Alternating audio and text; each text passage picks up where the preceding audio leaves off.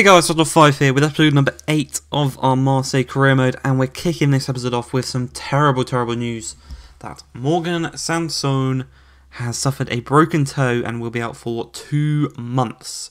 Luckily for us, this episode we are entering into January, so we could sign a potential replacement if we need to, but we do already have the likes of Maxime Lopez, Strootman, we have a couple of youth players coming through in the centre mid position, so we should have his kind of area covered quite well as we go into the round of 16 in the Coupe de la Ligue against Saint Etienne. Now, as we always do, we're going to show very, very compacted highlights for the cup games from the next round onwards, which will be the quarterfinals, the semi-finals, and then the final. We'll do more, uh, our more kind of general highlights of the game. But 69 minutes into this game, a chance there by Dimi Payet is well saved by Ruffier, forcing the corner. It's then whipped across by the man himself. Goes to the edge of what's to Khaoui, who plays it to Thauvin, playing on the left-hand side because obviously Payet taking that corner. What he's going to do, go to the byline, dink it across. Dimi Payet is there to just volley it past the keeper first time. And I think he nutmegs Ruffier there with a very, very nice finish.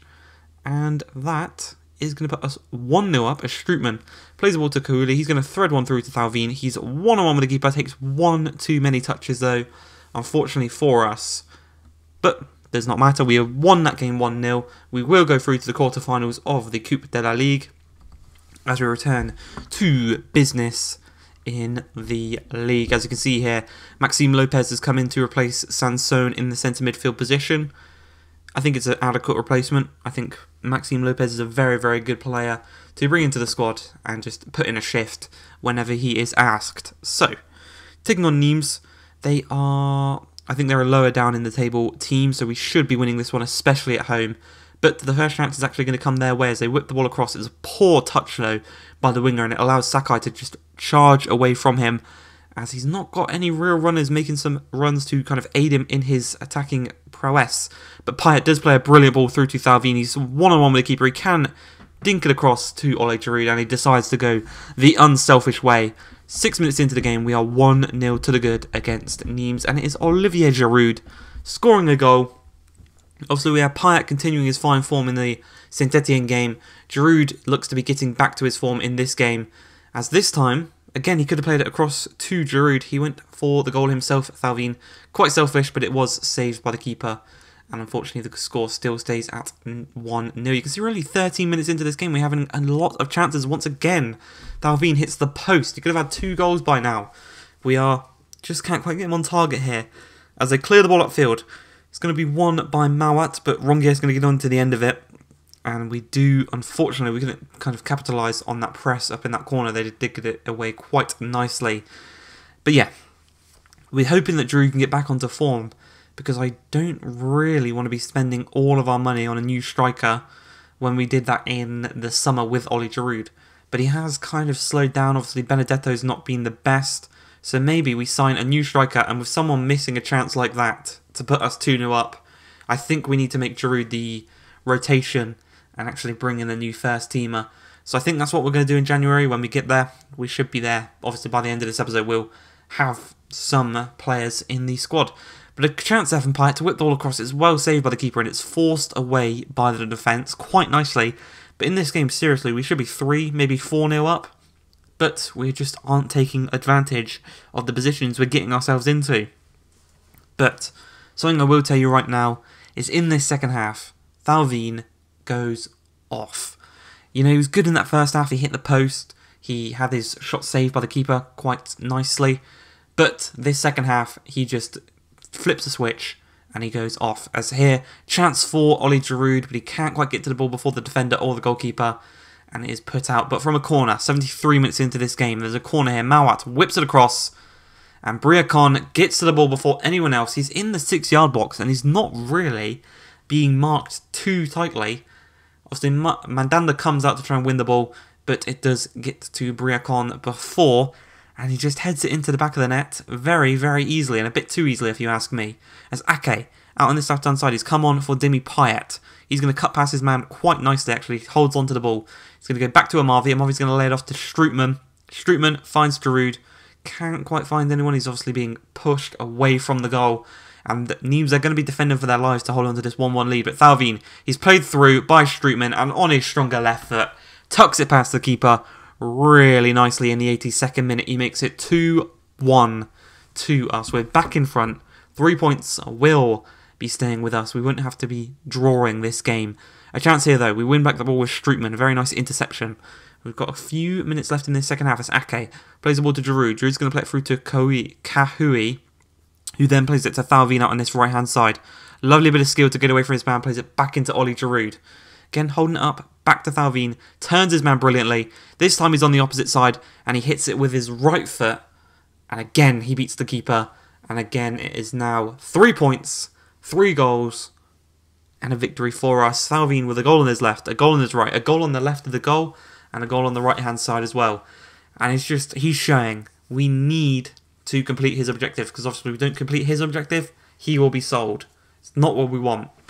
Also, a little bit of news just before we go into January. You can see on the 27th of December, one of our players wants to be taken out of the youth squad and actually come into the first team. His name is Daluk. He's six foot two, 17 years old, four star, no, sorry, three star, four star. Not the worst. He's actually a very, very decent little talent. But we get an updated look at our players. We've got a couple of good ones in there. And we're actually going to pick up a couple more good ones here in Barrett. And a couple of these guys maybe would work for other teams. But I'm trying to look for that 94, no, sorry, that 90 minimum. As we did a transfer offer here from Leicester for one of our starting left wingers. Obviously, we've struggled to say his name all season long. It's Nemanja Radonjic. But Leicester have come in for the 23 year old. I want 20 million for him plus a little bit of a sell on clause I think he's got a good potential. And obviously, we're not gonna. If we reject an offer from Leicester, he's going to put in a transfer request. He's going to want to leave. So realistically, we tried to get as much money out of Leicester as we could. We got 18.5 million. So we will need to replace this man, but we can't quite do it straight away as we get another offer here for Sarr. So, for Sarr, it's an offer from Porto. He's obviously not in the first team anymore. He has been replaced by Sakai. He's 27 years old, 76 overall. Tried to get 15 million for him. They were nowhere near what I wanted for him. We tried to go down to 10. Again, they were trying to keep it at 8.2. We went for 9.5. Again, 8.2. They added a sell-on clause though. We went for 8.5. They accepted the 8.5. So he will also be sold on. So unfortunately, we're losing Radonjic out on the left-hand side, and we're also losing Sarr at right back. But luckily for us, we've got rotation at right back with Sakai. That means that Amavi will come back into the first team and he'll play more games at the left back position. But left wing, we've only really got Ake. So I do want to try and sign a new left winger that could come into the team. We could obviously play Payet there, so we could sign a new CAM instead. But I'm going to try and look for a young player that we can bring in. Obviously, Radonjic was 23 years old. So if we can get someone younger than him with a bit more potential than him, that would be brilliant. As we go into this game against Stade Rennais, 10 minutes into the game, it's a great shot by Giroud, but it is well saved by the goalkeeper as we move into the second half. A free kick. It's played right back to their defence. A very nice header, powerful header to get it that far back to them. But Rongier wins the ball. Can't quite get it to Giroud though, and again they're going to work their way out from the back.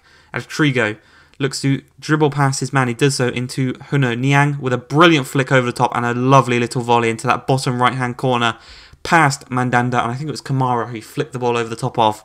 And 50 minutes into the game, they go 1 0 to the good. And Niang goes over to the fans and celebrates right in front of them. It's not what you want to be doing. We are losing too many games this season.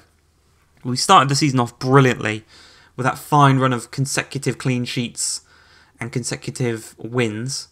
But we're struggling now. We get to the end of the season. T- players are getting tired, restless. Obviously, we're going into January. Some players might want to force a move. Luckily for us, though, we've got Mandanda in goal. He's he's Marseille through and through, with a brilliant save there to deny Niang from making it 2 0, doubling their lead. We're going to try and get back in with Lopez now, as he's going to play the ball across to Dimi Payet. Strikes it.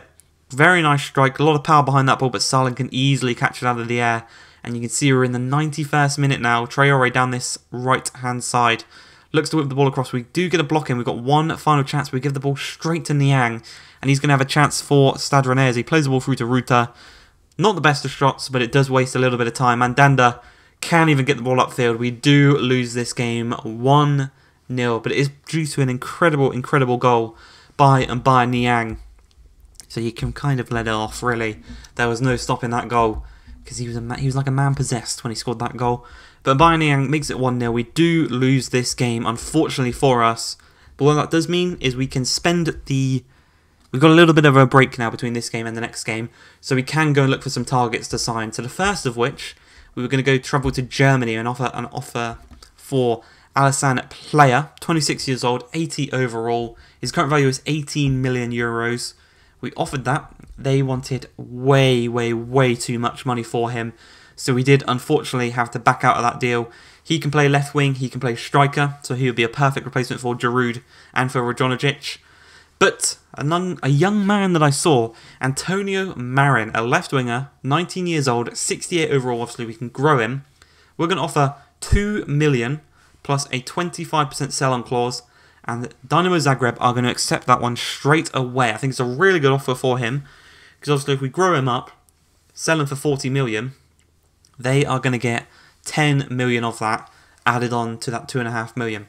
So for them, I think it's a good deal.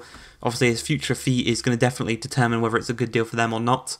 But you can see there, I offered him a rotation role. He wanted the important first team role. He wants to play games, which is what I want to see.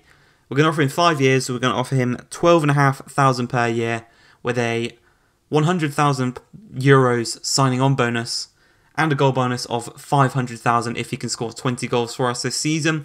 Keeping it realistic, this man is going to come in, he is going to replace Radonjic, the man that went to Leicester. He's younger, he's less overall, but he does have more talent. We do welcome Antonio Marin to the club. He'll come in on that left hand side. The young Croatian, he signed a five year deal, obviously, so he will be here for probably the majority of this save. Hope you guys have enjoyed this episode. If you have, please like, subscribe, maybe leave some striker suggestions in the comments below. But if you have, please like, subscribe, and peace.